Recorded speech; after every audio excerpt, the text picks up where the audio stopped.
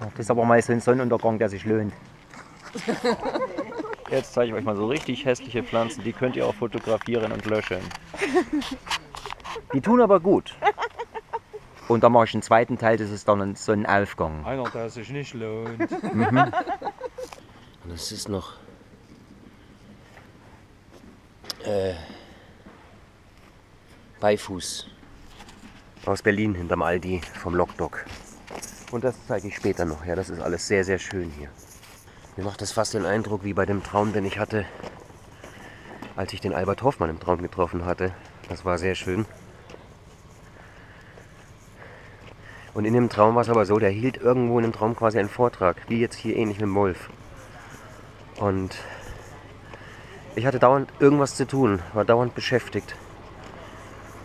Und äh, konnte ihn gar nicht genießen. Und das macht mir den Eindruck, das ist mein Dauerproblem. Hoffentlich kann ich jetzt den Wolf genießen. Lass mich auch nicht zu sehr von der Kamera ablenken. Und das ist, wenn ich mal einen Film, möchte ich mal gerne einen Oscar gewinnen und der heißt so der Kleine. Hallo Oscar. Tschüss. Und hier im Traum die ganze Zeit irgendwas vergessen, hinterherlaufen.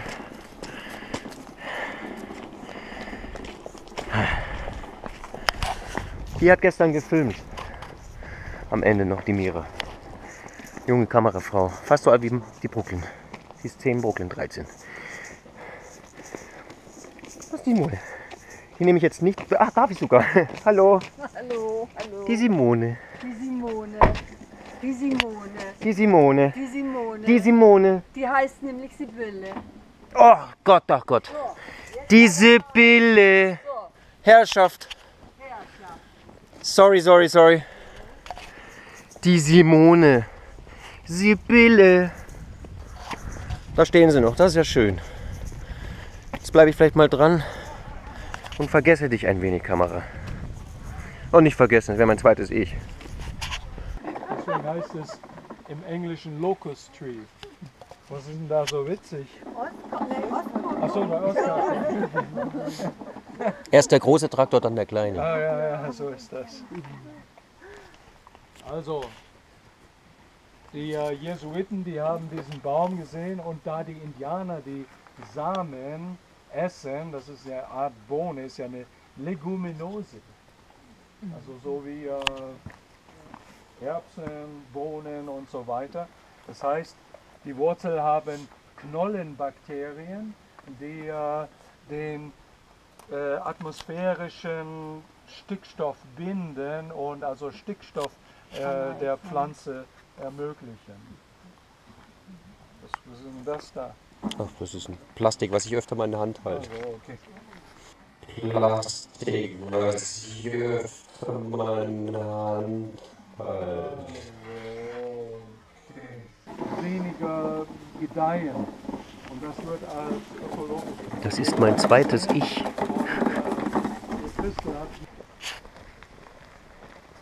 So, und hier draußen haben wir sogar eine Bushaltestelle. Da kommt dann alle Nasen lang, kommt dann da so ein, so ein Bus vorbei und der hält dann da. Hm? Ich finde es auch immer so abstrus, weißt du, wie wir so in die Natur geführt werden, wie wir so in der Naturreisegruppe, Naturreisegruppe. Wir haben es leider als Kinder nicht gelernt, also müssen wir es jetzt lernen. Genau, hier sieht man, das sucht jetzt, hier sieht man Zimmerkraut. Genau. Und Das sind jetzt so die verschiedenen Farben, die verschiedenen Pflanzen.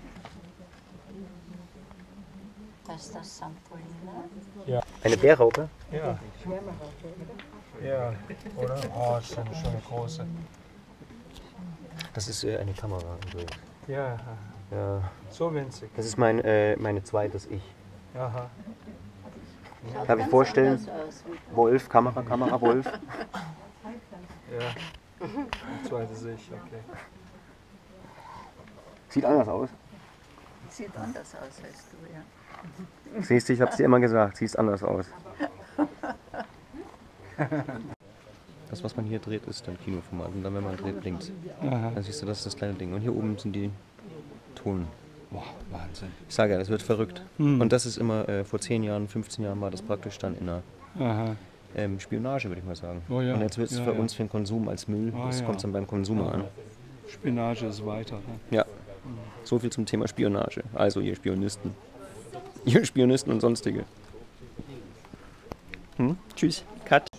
Du brauchst sogar nicht mal was zu verbergen haben und es wird dir nach plötzlich etwas gefunden. Ja, ja. Das ist ja das, das ist das Problem. Nimmst du jetzt dauernd auf hier? Nicht dauernd, immer wieder mal.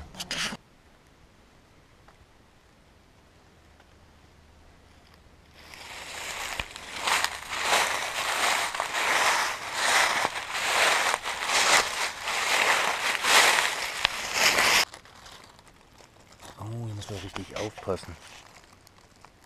Was hier für lauter kleine sind. An dem Baum habe ich gerade quasi eine Pflanzenmeditation gemacht.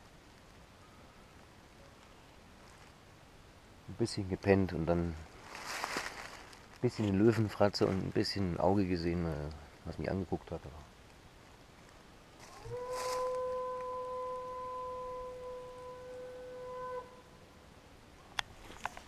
Da vorne ist der Wolf.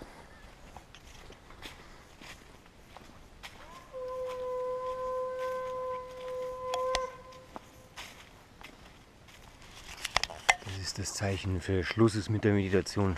Jetzt klangt's. Jetzt können sie wieder zurückkommen. Jetzt sind wir wieder da. Raus aus dem Wald, raus aus der Natur, aus der Wildnis. Jetzt klangt's. Uns fällt ein kleiner Wort schon bei rum, verstehst?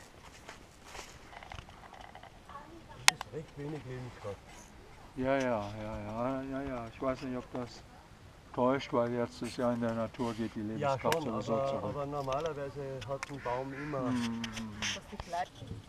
Bis dauernd da eingreifen. Das ist Jagdfieber. Also. Ja, aber, Aber nicht nur aber dann wenigstens selber essen, das wäre ja mal was. Ja. Aber nee.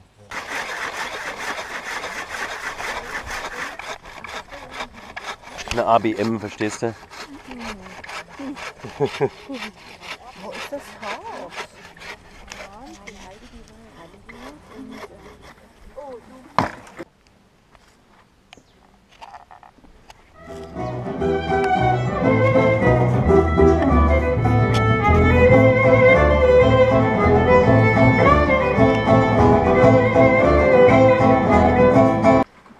Der Andreas.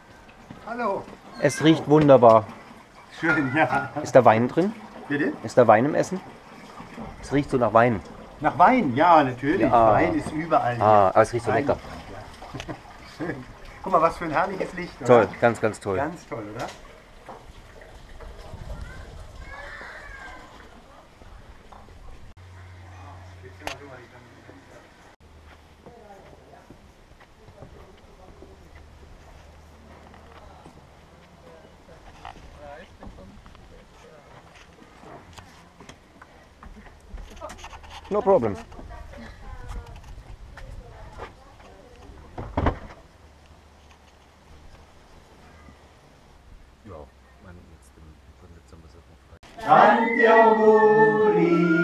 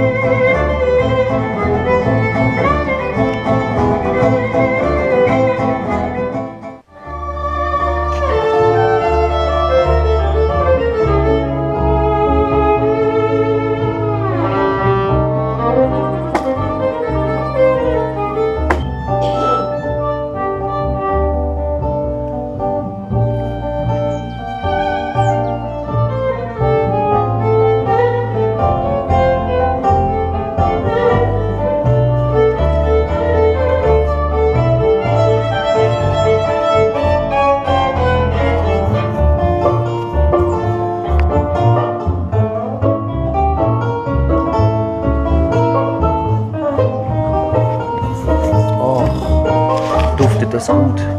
Mm. Oh, da freue ich mich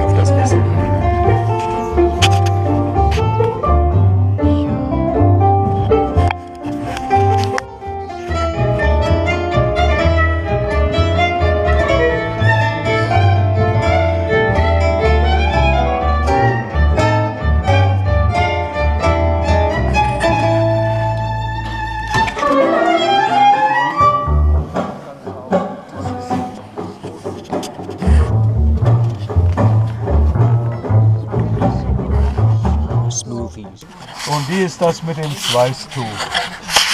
Ihr kennt die Geschichte, als der Heiland durch die Gassen von äh, Jerusalem getrieben wurde, schwere Kreuz tragend. Und da hatte Veronika Mitleid und hat ihm sein Gesicht, hat ein Tuch über sein Gesicht, um Schweiß abzutrocknen. Und er hatte natürlich so eine starke Ausstrahlung, dass, er sei, dass sein Antlitz auf das Tuch sich einbrannte, wie auf eine fotografische Platte. Deswegen wissen wir genau, wie er aussah. Und in Turin ist das, Buch aus, äh, das Schweißtuch ausgestellt. Aber da gab es einige perfide Wissenschaftler, die haben das Tuch genauer untersucht und das Gewebe stammt aus dem äh, späten 14. Jahrhundert. und es scheint drauf gemalt worden zu sein. Aber das ist kein Problem. Es gibt in anderen Kirchen, aber die sind nicht so bekannt, äh, gibt es auch äh, Schweißtücher von Veronika. Und da sieht er anders aus. Das ist, ähm, das ist wirklich eine, eine der allerbesten Leberpflanzen für äh, Lebererkrankungen, so ein Lebertee.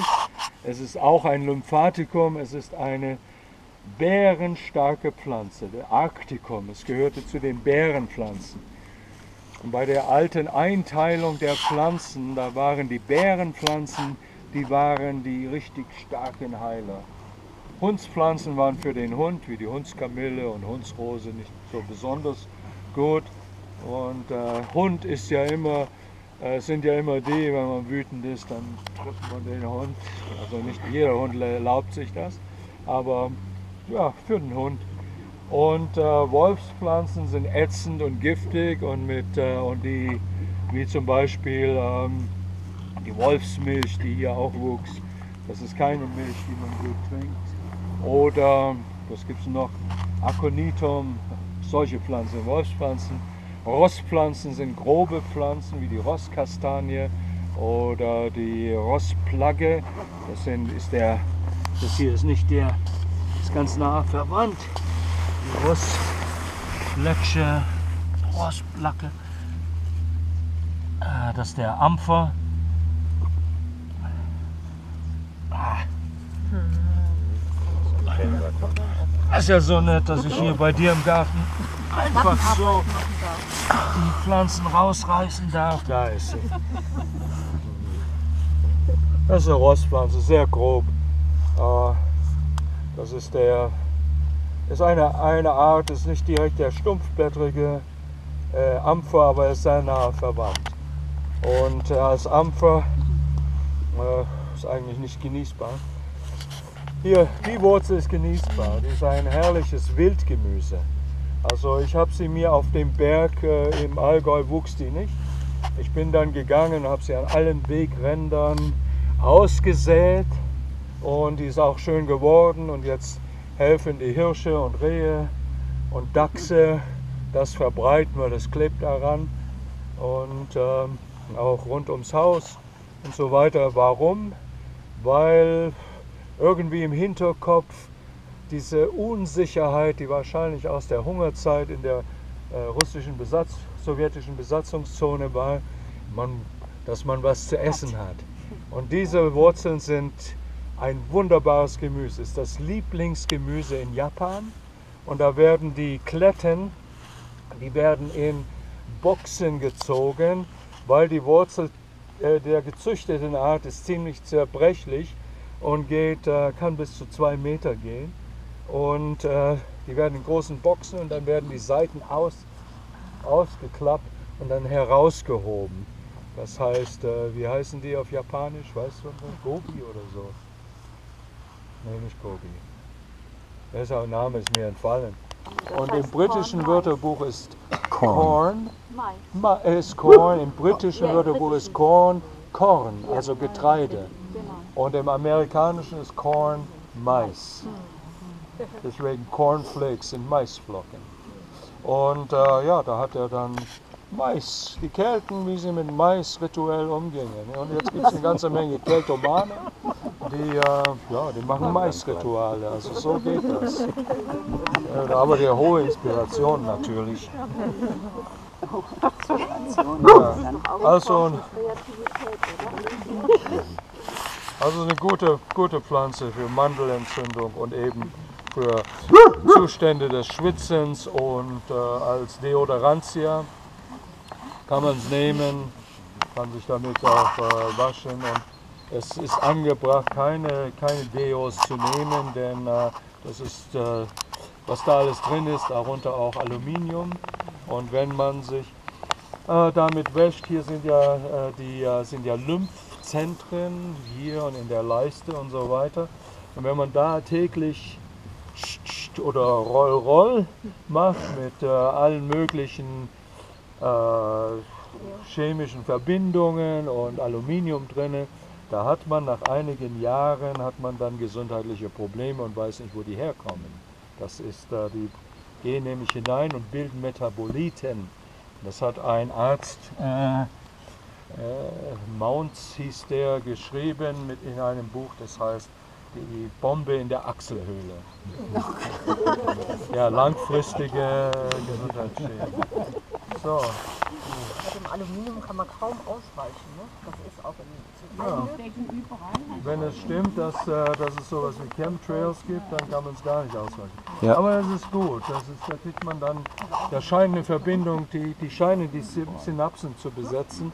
Und Oh. äh, dann äh, fängt man an, äh, Erinnerungslücken zu haben, was man so Al Alzheimer-Syndrom nennt.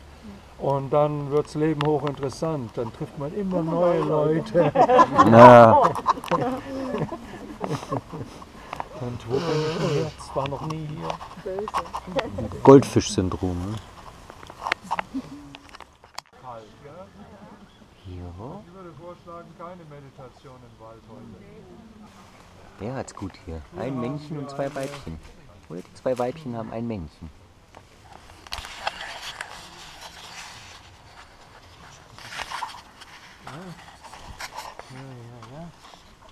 Das ist aber. Ihr habt hier Wühlmäuse oder was? Nein, diese, weil die so jung ist, Aha. meinst du? Ja, ja, weil die keine Keine großen Wurzeln. große Wurzel hat. Geistwesen, was wir Pflanzen Devas vielleicht nennen, haben, so die Ansicht der Renaissance, ihren Ursprung in den Fixsternen. Und dann gehen sie die Planetenleiter. Das ist eine späte Entwicklung des der Schamanen, des Schamanenbaums. Kommen sie herunter, aber sie wirbeln herunter, denn die Bewegung des Lebens ist ein Wirbeln. Und sie wirbeln herunter und verbinden sich mit der Erde und mit den Samen. Und sie wirbeln durch die Planetensphären. Und so die Ansicht der Renaissance. Und wir machen das auch übrigens. Und in der Renaissance wirbeln sie durch die Sphären und werden von den jeweiligen Planetengöttern begabt.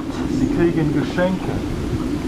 Und im Saturn, da kriegen sie solche Sachen wie blaue Blüten. Denn die Saturnsphäre ist die äußerste sichtbare Sphäre, das ist der blaue Himmel. Und, äh, und es ist äh, Kiesel und das ist eine sehr kieselige Pflanze. Und sie hat so, diese Familie hat oft blaue Blüten, wie der Boric gehört zu der Familie. Und dann gehen sie durch Jupiter und Jupiter schenkt Süße und äh, schenkt äh, also Zucker wie beim Ahorn zum Beispiel und schenkt schöne Früchte. Das hat sie nicht. Die saust durch Jupiter und Jupiter ist gerade mit etwas anderem beschäftigt. Und dann geht sie durch zum Mars und Mars äh, schenkt äh, unter anderem Schärfe, rote Farbe. Und Mars hat auch kein Interesse in ihr, aber sie ist voll, voll Saturn. Dann schießt sie durch das Tor der Sonne und äh, ja, das sind dann so sonnige Pflanzen wie die Sonnenblume. Und dann schießt sie durch, den, durch Venus, ähm, ja, Venus große, schöne Blüten auch nicht. Und dann schießt sie durch den Merkur. Der Merkur sagt, halt, halt, halt, ich gebe dir noch heilende Schleimstoffe und ich gebe dir Wachstumskraft. Ich fülle dein, bis in die Wurzeln kriegst du Schleimstoffe. Und die Pflanze sagt Danke und dann landet sie, dort geht sie durch den Mond. Und Mond sagt, ja, ich gebe dir ganz große Blätter. Ich mache dich sehr saftig. Und, danke, danke. und dann pump in der Erde und oh, da fühlt sie sich sauwohl in der Erde. Macht ganz dicke Wurzeln, zieht die Erdkräfte nur so an sich und, äh, und will gar nicht heraus. Und dann kommen ihre Blätter und im Gegensatz zu so etwas hier, hier bei den Gräsern und Getreiden, da sieht man die, äh, die Venen, es schießt einfach wieder zurück. Oder hier beim Mais, das ist, äh, schießt zurück. Aber hier die ätherische Kraft, die webt und wuselt und webt und wuselt und will gar nicht und will nahe der Erde bleiben, fü- gefüllt mit Erdkräften. Und äh, da hat man dann als, äh, als sagen wir mal, ja, hinterlassen äh, dieses Muster. Das ist ein gewebtes Muster. Das ist ein Bild der ätherischen Kraft. Und so webt sie die Knochen auch zusammen. Altenglischen heißt die Pflanze Bone Knit. Knit heißt, äh, heißt Stricken, Knochenstricker. Und wir nennen es Bein, Beinwelt. Bein sind Knochen, Gebeine. Und mit einer wallende Wirkung bis in die Knochensphäre hinein. Und sie webt die Knochen wieder zusammen. Und es fängt an äh, so zu eitern und schlimm zu werden und zu stinken, kommen die Schmeißfliegen, legen ihre Eier, schlüpfen sehr schnell aus und fangen an, das gangrenöse Gewebe. Und dann die ganzen äh, Übungen, ja, Atem beobachten, Schäfchen zählen. Nütze, Schäfchen zählen, 1, 2, 3, 4, 5, 6, 7. Schäfchen schießen. Schäfchen schießen, dann äh, Fötalposition, nein, andere Seite, nein. Und endlich kommt man und man merkt, man kommt in den Schlaf und der Wecker macht. Das ist für, da ist Baldrian angesagt. Also Baldrian ist sehr wichtig, wurde früher nicht für sowas genommen. Im Mittelalter war es ein Kraut, das äh, für die Liebe gedacht war, äh, Liebe gedacht war. Und da heißt es, äh, Mann und Frau sollen es nehmen in Wein äh, und sich der ehelichen Werke ergötzen. Ja, also so kann man das sagen. Und, äh, und äh, die äh, Auge, die, die Goldschmiede, wenn sie ganz feine Arbeiten hatten, haben Baldrian mit Baldrian Wasser äh, die Augen gewaschen. Also es ist nervenberuhigend. Es ist nicht narkotisierend. Wenn man nicht schlafen muss, dann kann man Baldrian nehmen und kann noch ein, kann ein Buch lesen. Man kann sogar mit Baldrian Auto fahren.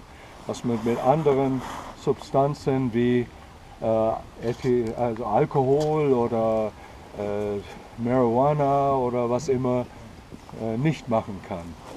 Bei LSD. Ich habe mal Autostopp gemacht. In den USA war so ein Typ, der sagt, ja, ich habe gerade hier einen, I just took an LSD-Tab. Das war der wildeste Ritt je. Es hat dann lange gedauert, ehe ich mich da beruhigt habe. Hatte sogar Angst zu sagen, ich will aussteigen. Ja, Wann kann man die Baldrianwurzel am besten nehmen? Eigentlich jederzeit. Das ist genau wie, äh, genau wie der Beinwelt, das, die kann man jederzeit nehmen. Oh ja, das, ist, das, sind dann, äh, das sind dann die äh, Sammelregeln. Normalerweise haben unsere Vorfahren, die, auch die Römer, haben äh, die Heilkräuter, auch die Wurzeln bei Neumond geholt, nicht bei Vollmond. Und äh, bei Braunkohl und Poppe, da wird es äh, falsch gesagt, da wurde sie angesprochen darauf und sagt, ja, da bei Neumond äh, kann man ja nicht sehen, ja, man holt die ja nicht in der Nacht unbedingt, aber am Morgen meistens. Und äh, da, sind, äh, da ist die Heilqualität stärker bei Neumond. Und bei Blüten? Bei, bei Krautblüten, ja. Bei Eher Blüten, Vollmond, wieso? weil es mehr die Kraft wieder hinaufzieht. Das Sammeln. Ja, das könnte sein. Es könnte sein. Es ist aber äh, Das Hinaufziehen und Hinunterziehen ist wieder eine andere Sache als Vollmond und Neumond. Das ist der aufsteigende und absteigende Mond. Und das ist ein ganz anderer Rhythmus. Und der aufsteigende Mond ist, wenn der Mond vom tiefsten Tierkreiszeichen, was heute der Schütze ist, hinaufsteigt zu den, äh, zu den Zwillingen. Und das ist aufsteigender Mond. Da arbeitet man mit Dingen, die nach oben gehen. Das ist besonders im alemannischen Raum sehr wichtig. Das ist der Mond, wenn er obsigent ist. Und wenn er absteigt, ist er äh, nizigent. Und äh, das ist was anderes als äh, Vollmond und Neumond. Das ist nicht in, äh, es ist eine ganz andere. Es gibt fünf Mondrhythmen. Äh, und äh, wenn man alle Mondrhythmen beachten würde, würde man nie die richtige Zeit haben, um zu finden. Und wenn dann nach 18 Jahren alles stimmt mal und dann geht man raus, um zu sammeln und dann ist es entweder Winter oder es ist ein Schnee oder es ist ein Regensturm oder so. Also nach allem kann man sich nicht halten. Mm, Das offensichtlichste und wahrscheinlich die stärkste Mondenergie ist äh, von Neumond. Übrigens haben wir heute Neumond. Oh, Neumond und, ähm, und zwischen Neumond und Vollmond. Und äh, bei Vollmond sind die Pflanzen wässriger. Und da rät Plini, Plinius, äh, der römische äh, äh, Naturhistoriker, der rät, Bauern, verkauft eure Gemüse und so weiter bei Neumond, äh, bei Vollmond, denn da wiegen sie mehr. Aber für den eigenen Bedarf äh, holt sie bei Neumond, dann halten sie besser. Und auf der Baldrianwurzel mehr drauf rumkauen oder auch äh, schlucken? Oder? Ja, man kann, man kann entweder Kaltwasserauszug ist sehr gut. Ansonsten kann man einfach drauf rumkauen. Und das ist gut. Nicht schlucken? Natürlich schlucken. Auch okay. Ja, okay. Und, Naja, es gibt ja manche, die man kaut und dann eigentlich, ich glaube, ja, dann ja, schlucken soll. Nee, nee, nee, die werden geschluckt. Und es ist sehr wirksam. Und als, ich nach, als wir nach äh, Deutschland zurückkamen, ich war da nach äh, fast drei Jahrzehnten kam ich wieder nach Deutschland zurück und ich dachte, ja, ich, ich muss mich hier, ich brauche Baldrian. Bin ich zur Apotheke gegangen, die Apothekerin sagt, ja, das wirkt überhaupt nicht. Und weil es gibt keinen eindeutigen Wirkstoff. Da sagt Rudolf Fritz Weiß, das ist ein Beweis, äh, man kann Baldrian auch nicht synthetisieren. Das ist eine Kombination, eine Symphonie von sehr vielen Wirkstoffen. Und man kann es nicht wie bei einigen Pflanzen auf einen Wirkstoff reduzieren. Und äh, ja, da bin ich zur nächsten Apotheke und die sagt, ja, das muss, damit die Valiopotriate wirken, da muss es ein Jahr aufbewahrt werden. Und das stimmt auch wieder nicht. Ähm, da gab es äh, eine Familie, die lebte im Wald, äh, so ganz Künstler, natürliche Menschen. Und äh, da musste das Kind in die Schule. Das hatte so einen Stress, äh, plötzlich in die Schule, konnte nicht schlafen, war eine Krise für die ganze Familie. Und die sagten, war ich zufällig da, sagen, gibt es denn da irgendwas, was helfen könnte? Und da sah ich, da wuchs sehr viel Baldrian. Ich sage, probiert mal die Wurzel. Frisch genommen, Tee gemacht. Das Kind hat eine Woche lang Baldrian-Wurzeltee getrunken und hat die Krise gu- gut überwunden, hat die Seele beruhigt. Also das ist eine wunderbare Pflanze, Baldrian.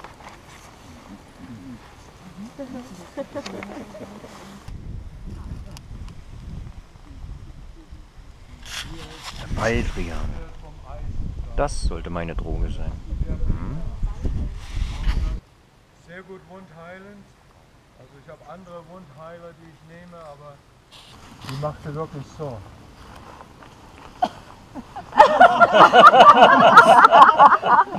Wie ein Roboter.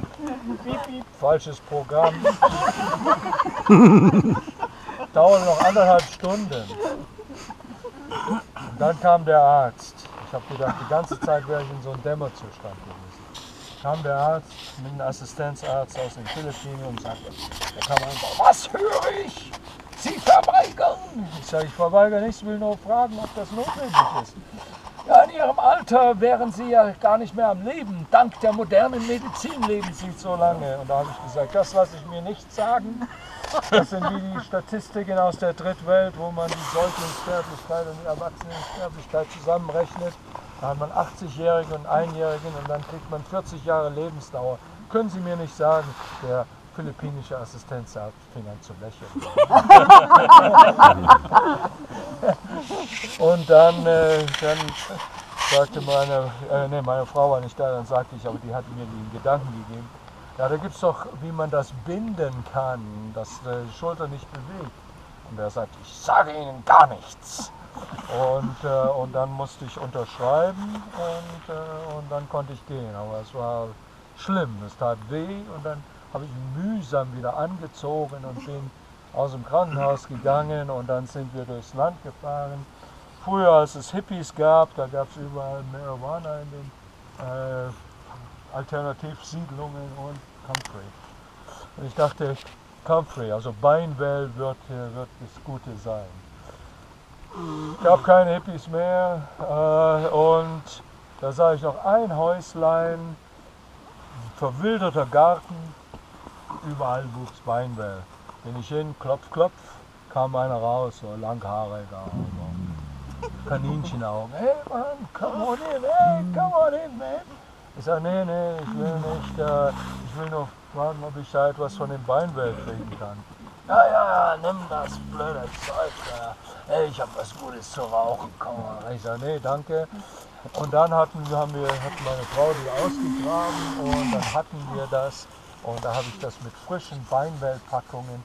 Es war so, wie es beschrieben wird, als ob die Knochen aufeinander zu, die Splitter aufeinander zuschwimmen und, äh, und heilen.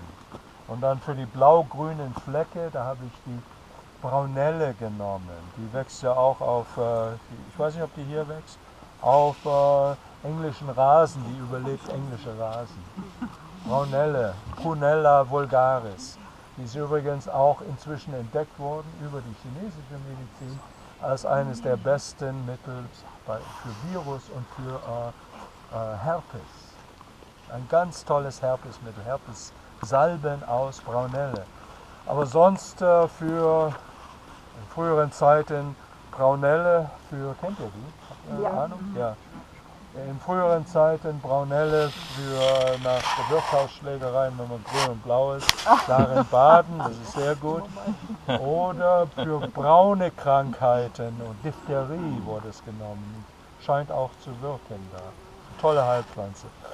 Und die habe ich genommen und, und dann fand ich etwas äh, am Rande des Grundstücks äh, so äh, Baldrian und auch ein bisschen Schafgarbe, blühende. Braunelle, Baldrian und Schafgarbe habe ich dann äh, einen groß, großen Aufguss machen lassen. Meine Frau hat es immer gemacht. Großen Aufguss. Und dann einmal zwischen den Wechseln von dem Beinwell dann ein Bad, dass man entspannt und dass es nicht so weh tut. Ich äh, war dann, äh, nach vier Wochen war ich wieder vollkommen fit, hatte keinen Metallstab drin, habe mir für die Operation damals 2000 Dollar gespart, mit denen wir wieder nach Europa gehen konnten.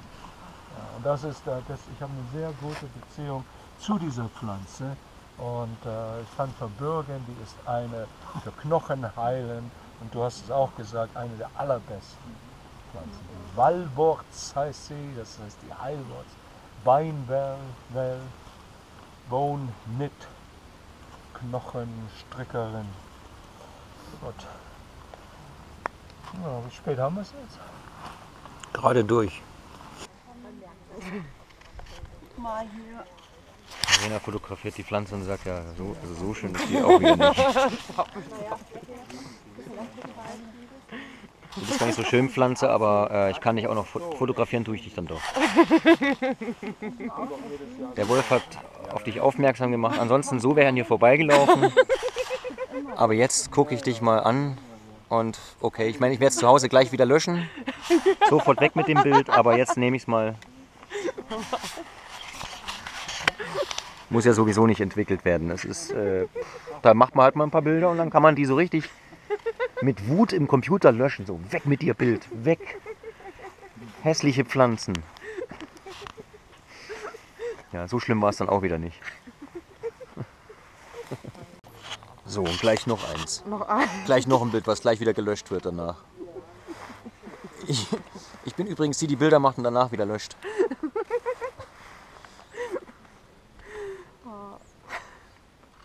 Das ist bei mir übrigens auch so. Also alles, was ich filme und so, die Leute fragen mich auch mal, für was machst du das? Und ich sage dann immer, ja, zum Löschen. Ja, und dafür braucht man dann ganz große Computer, viel größere Computer, da braucht man dann ganz viel Speicherplatz, gibt ganz viel Geld für aus, um alles zu löschen. Ja, das ist das Shiva-Prinzip. The Shiva Princip. Oh, ich krieg Bauchschmerzen. Ja, das ist gut so. Aboriginals sagen, Heilmachen ist Frohmachen. Nee, Frohmachen ist Heilmachen. Oder wie auch immer. Klasse einfach, echt.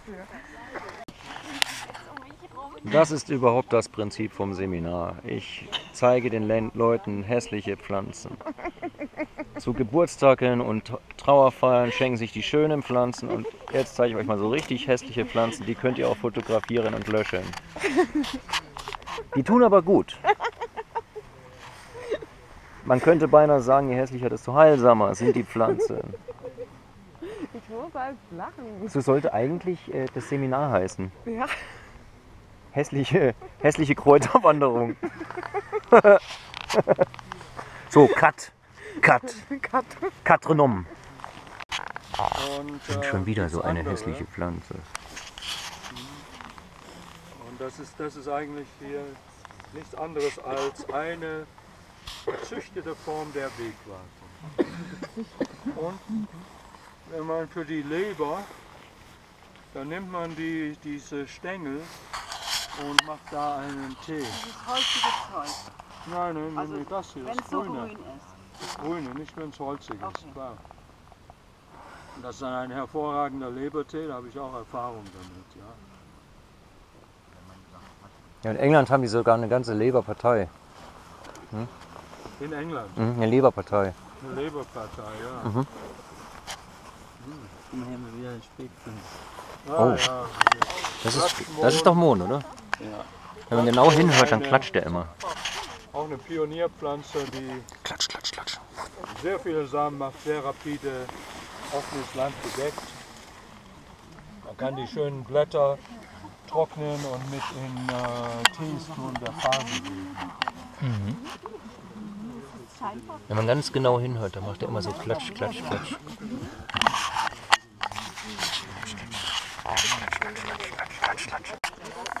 Vom,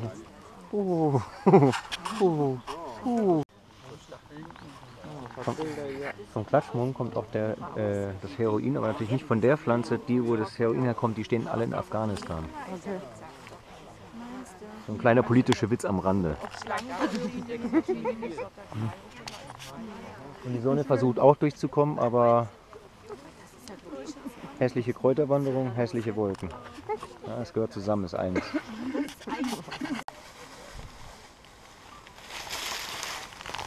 Was für ein Puja-Baum.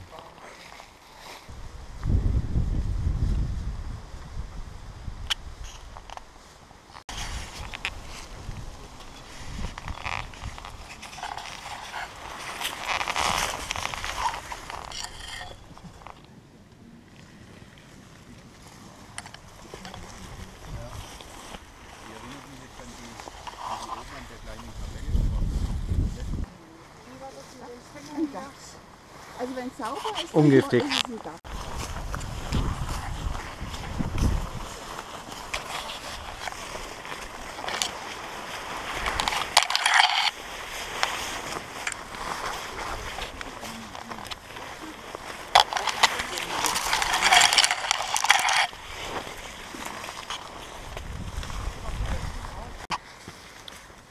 Aus Gießen.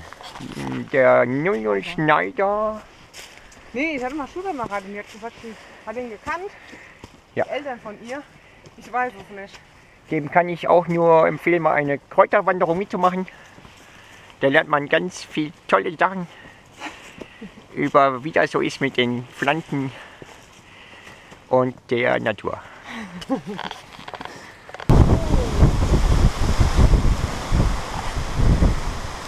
Da kam ein Wind auf, dass es nur so splatterte.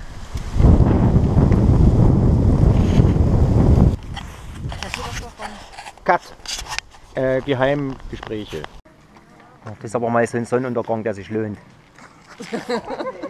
Der lohnt sich. Bei dem Sonnenuntergang können Sie sagen, wenn Sie den aufnehmen, auf YouTube setzen, dann kriegen Sie pro, also können Sie richtig Geld mit verdienen. Auf YouTube einer von Einer. einer Million. Ja, aber ich schreibe, ich, ich mache bei den Titel ein besonders guter Sonnenuntergang. Besser als die anderen. Einer, der sich lohnt. Einer, der sich lohnt. Und dann mache ich einen zweiten Teil, das ist dann ein Sonnenaufgang. Einer, der sich nicht lohnt. Und auch immer schön mit Kamera, damit man auch immer davon distanziert ist und nicht alles mitbekommt.